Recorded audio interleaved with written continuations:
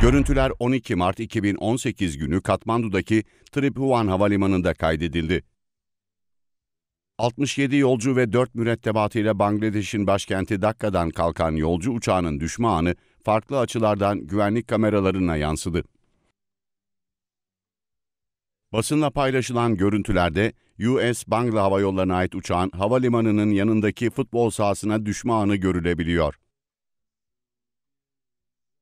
49 kişinin hayatını kaybettiği uçak kazasının nedeninin ise pilotla kule arasındaki iletişim sorunu olduğu açıklanmıştı.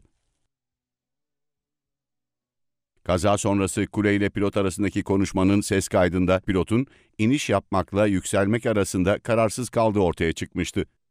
Kaza da bu sırada meydana gelmişti.